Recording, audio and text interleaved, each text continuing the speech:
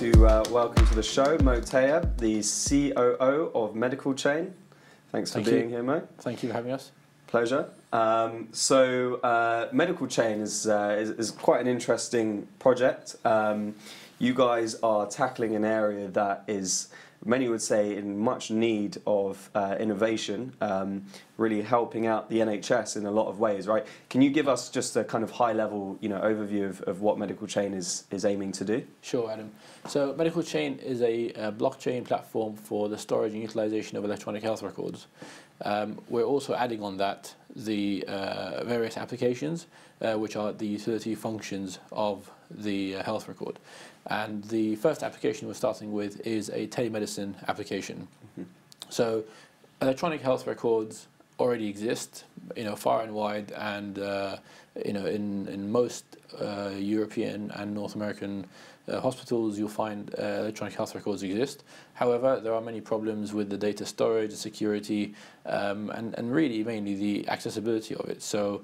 Um, if you you know nowadays we are a nation of expats and everybody travels a lot. And when you travel you take on your phone with you your um, calendar and emails and um, access to your photos and music uh, and your online banking. But uh, your health record which is potentially something quite life-saving Yeah. um, tends to stay with the last doctor that you saw. And so with medical chain we are providing access to your health record which is stored on a blockchain. It's a, an international network of um, node verifiers that it's a, it's a blockchain network that's run using the Hyperledger blockchain, and uh, it allows you to access your health record and share it with a doctor of your choice, and have that doctor add information to it about any consultation or surgery or any anything you may have done, you've had done.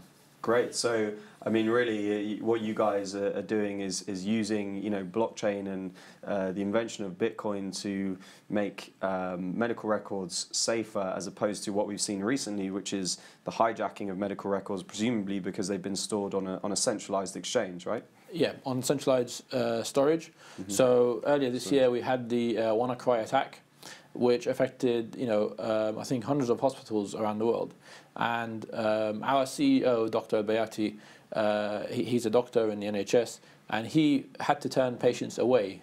Uh, on on those days when the WannaCry attack was happening, because they could not access their health records, so they could not see them for consultations. Some were awaiting surgery; they couldn't uh, get their surgery done because their um, health records were locked away. I mean, so uh, hopefully, when when you have these health records, you know, owned by you, you're in much more control over it. hmm So, what will the medical chain service look like? Will there be an app for, for the phone? Will it be online, desktop, and That's on right. phone? It, will be a combination of of all. So there will be apps on on um, Android, iPhone, um, and you will have them uh, on on desktop as well. So as a patient, uh, you've got access to your health record uh, through an app, and you can grant access to a doctor or any healthcare professional of your choice, and that access is on a time limited basis. So if you're no longer getting consultation by a doctor, that doctor in theory shouldn't have access to your health record, so you can revoke that access.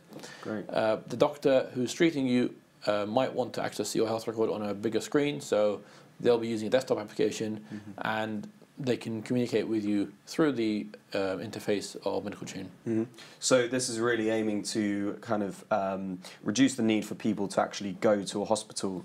Potentially, you know, we could have a, we could see a lot more people, as we're already starting to see with, with you know a few other apps uh, being kind of having consultations from home and, That's and right. being treated from home That's right. remotely. So, so telemedicine itself is currently a $28 billion industry, and about 50% of that is North America, 25% is in Europe. So it's already a, um, a large industry and it's growing. The problem with telemedicine right now is your health record doesn't exist on the applications that are available.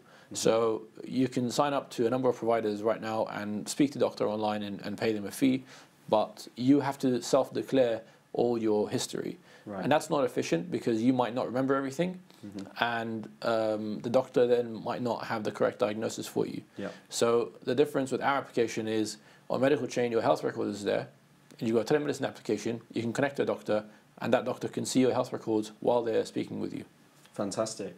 Um, and so you guys are doing an ICO. Um, so you're issuing a coin, which is the Med coin. It's a Med token. Med token. Yep. Sorry. So the Med token is going to be used, you know, within um, the, the app and the platform. So can you explain kind of how that works? You know, what, what is this this token's Sure. utility? So the Med token is a utility for uh, transfer of value and, and services on the platform.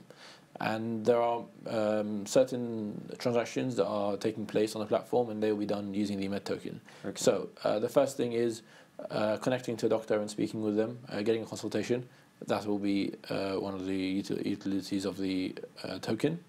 Uh, another function in future, we plan to, after having a mass uh, or a critical mass of uh, health records there, uh, we will start introdu- introducing a marketplace for health records to pharma companies who want to contact uh, patients for clinical trials, and they will be paid for um, providing access to their health record using Med tokens as well. Mhm. Furthermore, uh, we are uh, providing an SDK for app developers in the next six months, and that SDK will allow um, many bright and you know really amazing apps out there right now to connect to the medical chain platform and be and provide apps to people who've got their health record on the platform, so they can not only uh, you know just have their health record there, but also have a dashboard that will be updated in real time uh, with with with some useful information about their health record. And obviously, you know, there are transactions have to take place, and, and they will also be using Mm. med tokens.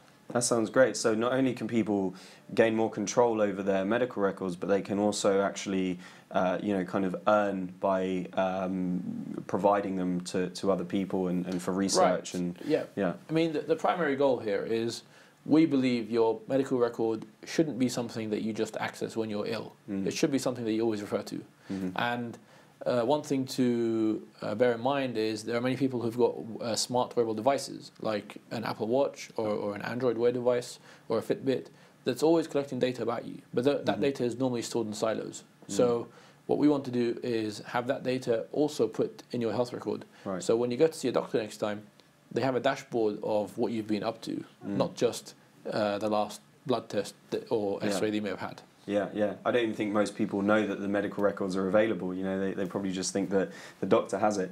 Yeah. Um, well, you'd be surprised about how you know uh, dispersed it is. Yeah, yeah, that's great. So you've been traveling around the world, you know, promoting, talking to people about medical chain. What what's the reaction been like? And, It's been uh, you know really humbling and Yeah. really amazing to see um, how much need there is for this kind of uh, a utility, and uh, we are uh, doing well right now in Asia.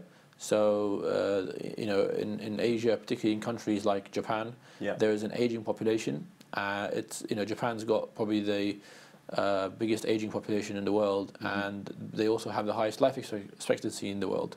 So they really care about uh, medical innovation and uh, accessibility to their medical data. So in, in places like that, it's been really nice to see the reaction to uh, a service like Medical Chain uh, to come to market.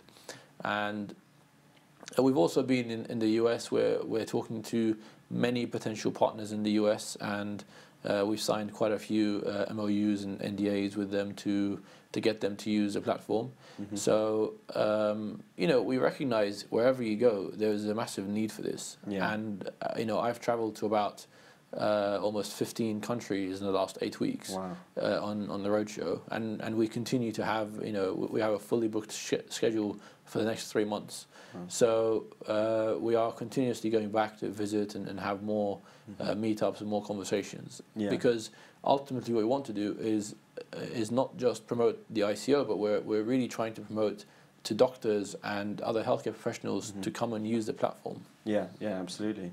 Uh, and you've been working with uh, some advisors from the blockchain space, right? I understand yeah. you're working Yeah. with Coinsilium, so they've been uh, putting you in touch with guys within the blockchain space and, and kind of helping you out, taking you to various different events and, and things yeah, like that, right? Absolutely, uh, it's very important to have uh, a good team and the right advisors on board.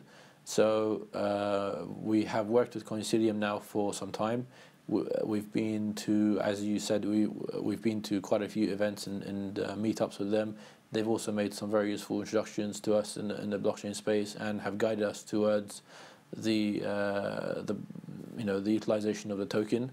Yeah. Uh, you know, blockchain is a new space, and nobody can pretend to know everything. Yeah. So it's, it's very important to work with uh, some very smart people who've got some you know experience and have been there and done the things you're trying to do. Sure. So, okay, just finally, the uh, token sale itself. Yeah. Um, what what are the dates for that if people want to buy Sure. Med token? So, so uh, currently we're in December. We're doing our pre-sale. Yeah. That will run into January, Mhm. and um, at the beginning of February we'll have our ICO. So, um, you know, if if anyone wants to participate in the uh, pre-sale, they can go to our website and join the whitelist. Mhm. And uh, yeah, the ICO will be in uh, February, and uh, we hope to be listed on an exchange uh, at the beginning of March. Okay, fantastic. So you heard it here first, guys. Beginning of February, get your Med tokens. Mo, thank you very much for Thank joining you. us. Thank it's been a pleasure. much. Thank you. Cheers.